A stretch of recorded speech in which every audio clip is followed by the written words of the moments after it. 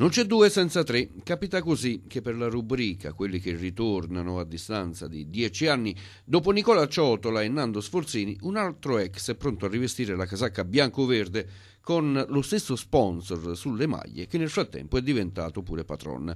Parliamo di Vincenzo Pepe, oggi 32enne che dopo un girovagare per l'Italia è sulla strada del ritorno. Nel 2008-2009 con Salvatore Campilongo in panchina mise addirittura a segno tre reti in 28 partite. Il suo acquisto non è da ritenersi alternativo, bensì complementare a quello virtuale di Alfageme, anche se la presentazione di Vincenzo Pepe, dopo che si sarà liberato dal Potenza e dopo il pastrocchio dei giorni scorsi è destinata a slittare al 26 gennaio. Nell'attesa di risolvere lo spinoso caso Alfagheme, che resta dall'esito incerto, intanto Carlo Musa continua a guardarsi intorno per consegnare a Bucaro un altro attaccante.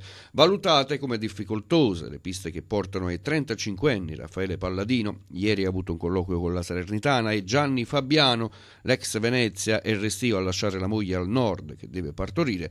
L'ultimo nome è quello di Davide Lupi Offerto pure al Modena e alla Regina, l'ex esterno di Verona e Virtus Entella non mette piede in campo da oltre un anno quando riportò l'infortunio all'adduttore. Da quel giorno si incrinò anche il suo rapporto con i dirigenti liguri, a tal punto che lo scorso ottobre le parti si sono divise attraverso la rescissione